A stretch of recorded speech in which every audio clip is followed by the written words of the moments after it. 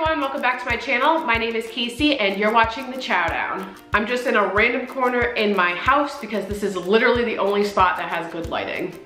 So we're just gonna roll with it. It is September and two of my favorite things start this month one being fall and two being football. So with that being said, I have three game day appetizer recipes for you.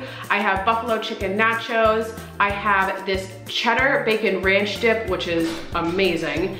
And then I also have Reuben sliders, which by far were my favorite. Yeah, yep, the Reuben sliders were definitely my favorite recipe of the three. Um, these recipes are really easy, by no means healthy, definitely for cheat days, but like any game day is a cheat day, right? If you like this video, please make sure you give it a thumbs up and let's get into the recipes. So we are going to start off with the cheddar bacon ranch cheese dip slash cheese ball. And in a mixing bowl, I'm going to combine two 8 ounce packages of cream cheese with one packet of ranch seasoning mix. And I'm going to mix these ingredients really well with a rubber spatula you could also use a hand mixer, which would probably be a lot easier than this method, but this works fine if you don't have one. And then I'm going to add a half cup of cheddar cheese as well as a half cup of chopped bacon. I just cooked this bacon up on the stove top before I mixed it in. And then you're going to mix these ingredients in really well as well. You can also adjust the amount of bacon and cheddar you add to your personal preference. And I'm going to take a baking sheet lined with wax paper and I'm going to dump my cheese mixture onto the wax paper and with my rubber spatula I'm going to start forming a football shape. Now this step is completely optional but I think it provides a nice presentation if you're bringing this dip to a party. So you're just going to want to form a loose football shape and then I'm going to take plastic wrap and cover the cheese mixture with the plastic wrap and then with my hands, I'm going to form it into more of a football shape. I'm going to pinch the ends and flatten the top. And just keep playing with it until you get a shape that you're happy with. If your cheese mixture is too soft, just pop it into the fridge for about 15 minutes and that should help. Once you have a shape that you're happy with, you're going to want to take the rest of your chopped bacon and mix that with some chopped scallions. And you're going to cover the entire cheese ball with this mixture. If you're bringing this to a party, you, you might want to use gloves for this step, but I wasn't bringing this anywhere, so I just washed my hands really well. Uh, so you're just going to cover the entire cheese mold and gently press the bacon and scallions into the sides. And to finish off the look, I just cut up a slice of cheese into strips to form the laces of the football. This dip goes great with crackers, chips, and veggies. Uh, for this platter, I served it with Ritz crackers, tortilla chips, and baby carrots. The next recipe is buffalo chicken nachos, and this recipe is actually so easy. I'm going to start off with a pan over low heat, and I'm going to add two ounces of cream cheese, a half cup of buffalo sauce, and a quarter cup of ranch. And I'm going to heat this and stir constantly, just letting the cream cheese melt and mix everything together. It's going to take about five to eight minutes. Once your cream cheese is melted and everything is mixed together well, you're going to add your chicken. I have about a half a pound here and I am using rotisserie style chicken from my deli. That's what makes this recipe super easy. Um, you don't have to cook any chicken, um, but if you want, you can also cook up a chicken breast and shred it.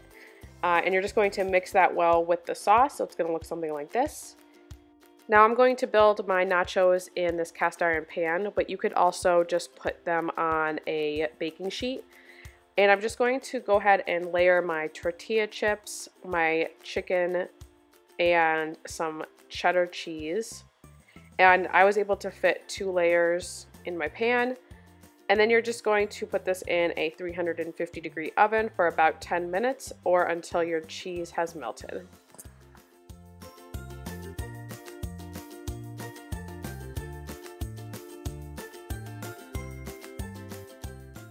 Once your dip is out of the oven, just garnish with some scallions and you're all set.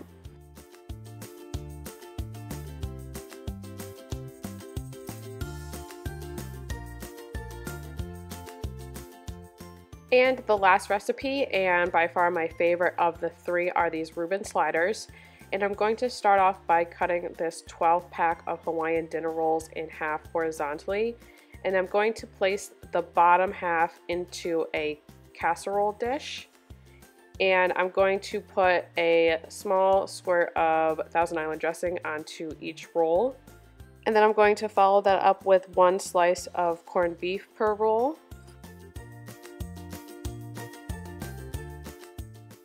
And then some sauerkraut. Overall, I used about a half cup of sauerkraut.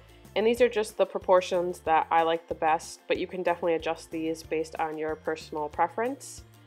And then on top of the sauerkraut, I'm going to add a nice layer of Swiss cheese. I just like really cheesy sliders, so I added two layers here.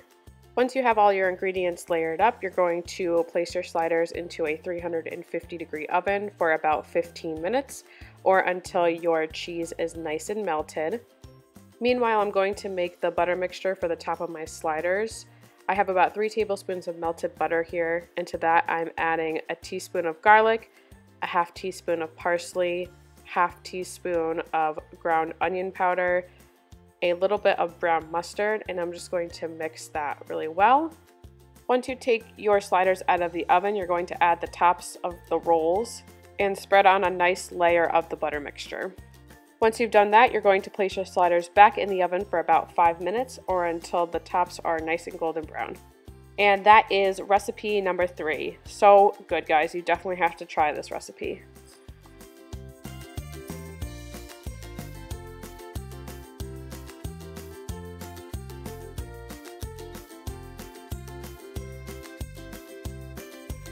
Alright guys, thank you so much for watching. I hope you enjoyed that video. Please let me know which recipe was your favorite. Also, question of the day, do you like college football, NFL football, or both? Please make sure you subscribe for more recipe videos and I'll see you next time. Bye!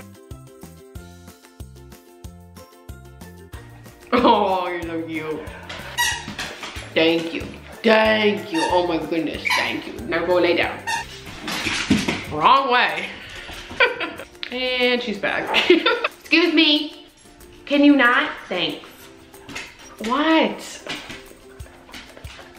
I'm never gonna get a film. They won't leave me alone. I can't, I can't. NFL football.